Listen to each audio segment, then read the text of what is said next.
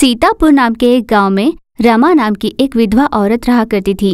वो अपने बेटे बालू और बेटी कीर्ति के साथ रहती थी। जब उसके पति ज़िंदा थे, तब उनके मटके का धंधा बहुत अच्छे से चलता था। हर कोई उसे प्यार से बहना और दीदी कहकर बुलाया करते थे।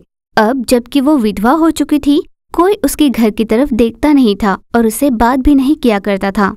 कोई उनके पास मटके खरीदने भी नहीं आता था। बच्चों के साथ कोई खेलता भी नहीं था। एक दिन कीर्ति ने कहा, माँ, अब तक जो हम लोगों के साथ बच्चे खेला करते थे, वे अब हमारे साथ नहीं खेलते। उन्होंने कहा कि उनके माता पिता ने उन्हें बताया कि आपने कोई पाप किया है, जिस कारण पापा ज़िंदा नहीं रहे। क्या यह सच है, माँ? आपने कोई पाप किया है? ये बातें सुनकर रमा बहुत दुखी हुई। अपने दर्द को छुपाते हुए उसने आँसू बहाए। रमा को समझ में नहीं आया कि क्या और कैसे कहा जाए। तब कीर्ति ने कहा, मैंने उनसे कहा कि जहाँ तक मैं जानती हूँ, मेरे माँ ने कोई पाप नहीं किया। फिर उन्होंने कहा कि ऐसा है तो तुम्हारी माँ बाहर क्यों नहीं आती? बोलो ना माँ। इतने में बालू ने कहा, उन्होंने ये भी कहा कि तुम्हारी माँ को भला गाँव वाले फिर क्यों डांट रहे हैं?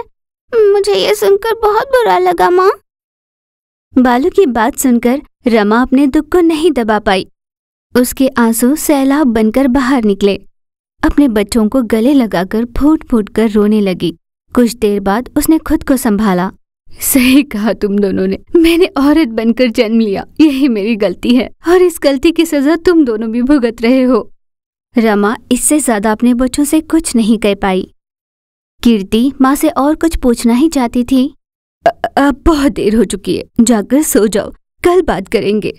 ऐसा कहकर उसने अपने बच्चों को सुला दिया। उनके पास बैठकर वो बोलने लगी, हे hey भगवान, ये तेरा कैसा खेल है?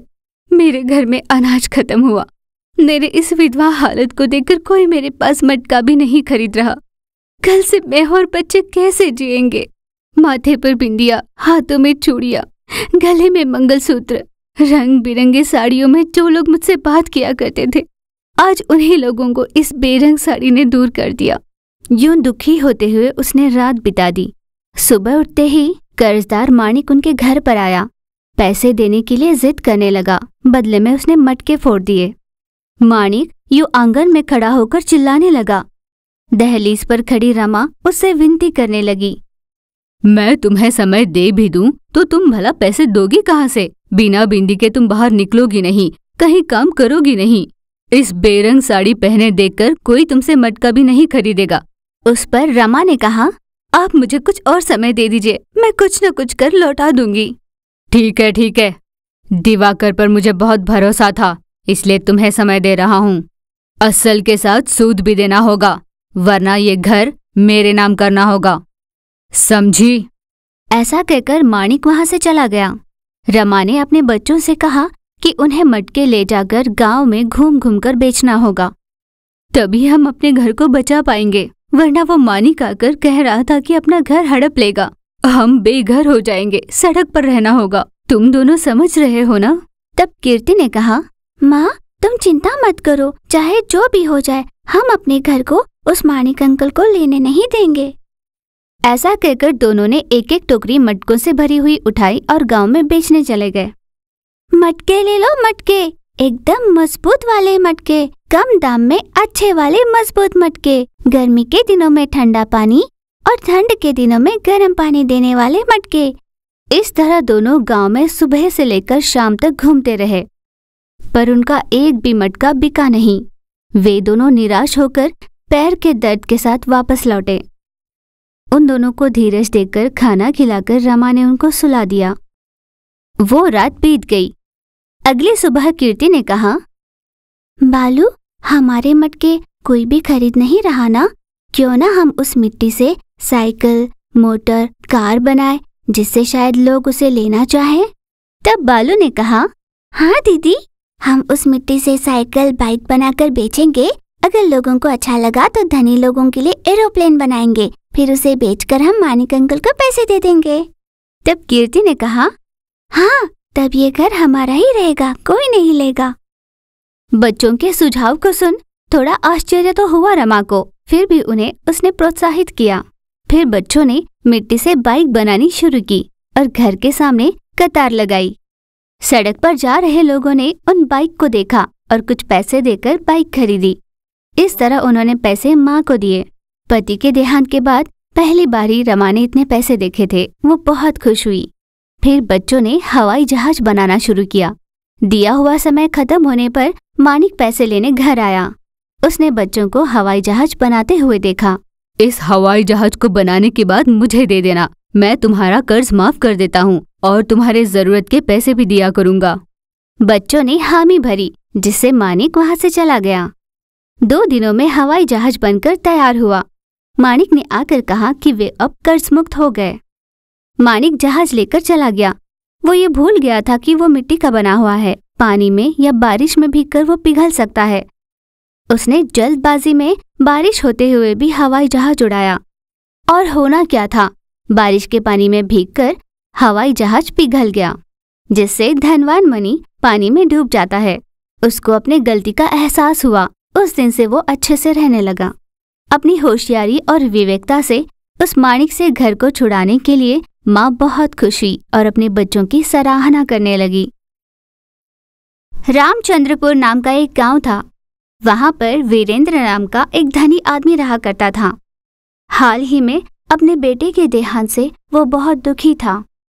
पर उसने सोचा कि अपने बेटे की याद में वो गाँव वाले बच्चों के लिए एक स्मारक बनाएगा।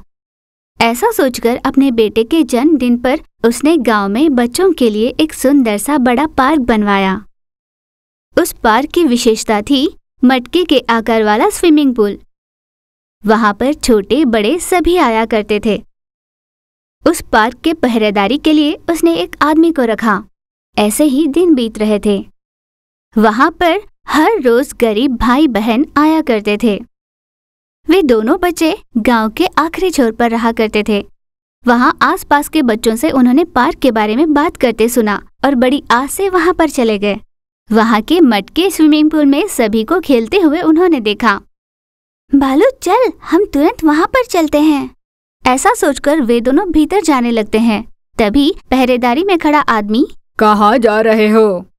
तब कीर्ति ने कहा दादाजी सभी स्विमिंग पूल में खेल रहे हैं ना? हम भी वहीं खेलने जा रहे हैं। तब उस आदमी ने कहा तुम्हें देखकर अजीब सा लग रहा है। ऐसे फटे कपड़ों में मैले कुचेले कहाँ से आए हो? हम गाँव के बाहर रहते हैं। हमारी माँ अंधी है और पापा इस दुनिया में नहीं रहे। इसीलिए हम भीख मांगते रहते हैं। ऐसा कीर्ति ने कहा। उस पर पहरेदार बड़ा गुस्सा हुआ। क्या कहा? तुम दोनों भीख मांगते हो? ऐसे मलिन गंदे कपड़ों में तुम लोग स्विमिंग पूल में जाओगे और वहाँ का सारा पानी खराब करोगे। जाओ यहाँ से। इस तरह ज़बरदस्ती कर उन दोनों बच्चों को वहाँ से बाहर हकाल देता है। बच्चे दोनों दुखी होकर वहाँ से जा रहे होते हैं। तभी वहाँ का जमींदार ये सब होते देख लेता है। क्या हुआ हनुमंत? इस तरह तुमने बच्चों को क्यों हकाल दिया? कौन है वो? पता नहीं सेठ जी, कोई गरीब बच्चे हैं। उनके कपड़ों से बदबू आ रही थी। कचरे की गंदी सी बदबू। वो दोनों मलिन थे। वो दोनों स्विमिंग पूल में उतरना चाहते थे। वो पानी गंदा हो सकता था, इसीलिए मैंने उन्हें भेज दिया। तब जमींदार ने हाँ कहा और वहाँ से भीतर चला गया। वो रात बीत जाती है। अगली सुबह दोनों ने सोचा कि अपने घर के आँगन में मटके के आकार का एक स्विमिंग पूल बनाएँगे। पर वो इतना आसान नहीं था, उन दोनों से नहीं हो पाता। उन दोनों ने मिट्टी इकट्ठा की और अपने हैसियत के हिसाब से जितना बन पाता, जैसा बन पाता बनाने की कोशिश कर रहे थे। पर वो सही नहीं बन रहा था। आखिरकार दोनों हताश हो जाते हैं। लाख कोशिश करने के बाद भी हम लोग मटके के आकार का स्विमिंग पूल नहीं बना पा रहे रहने दे बालू, लगता है भगवान नहीं चाहते कि हम लोग इसमें खेलें। यूँ वो दोनों दुखी हो रहे थे। वो रात बीत जाती है। अगली सुबह उन्होंने उठकर देखा तो उनके आँगन में एक मटका पानी से भरा हुआ तैयार था। स्विमिंग पूल देखकर, अरे वाह! ये कहाँ से आया? कितना अद्भुत है। ऐसा सोचकर वे दोनों उस पानी में खेलने लगे। ये सब दूर खड़ा जमींदार और वो पहरेदार खुशी से देख रहे थे। पहरेदार अपने मालिक से कहता है मालिक मेरी समझ में ये नहीं आया कि आपने ये सब क्यों किया। क्या मैं जान सकता हूँ? उस पर मालिक ने कहा मैंने अपने बेटे की याद में ही ये पार्क बनवाया था पर अगर ऐसे बच्चे वहाँ नहीं जा पाए मेरे बेटे की आत्मा को शांति नहीं मिलेगी। अब अगर मैं उन्हें वहाँ पर बुलाता भी तो शायद वो नहीं आते, क्योंकि हमने उन्हें बहुत अपमानित किया है। इसीलिए, मेरे बेटे की आत्मा के शांति के लिए ही मैंने ये बनवाया है। मालिक ने ऐसा कहा। मालिक, मुझे क्षमा कर दीजिए।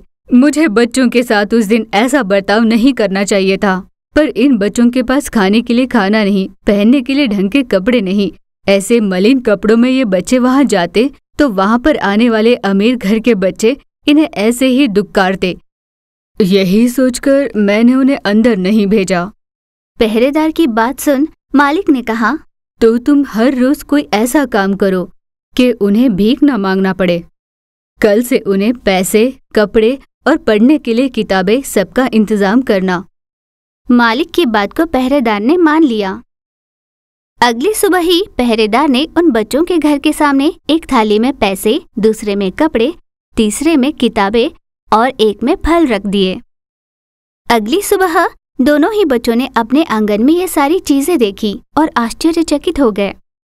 और चौंक कर एक दूसरे से कहा, दीदी, लगता है ये जादुई मटका है।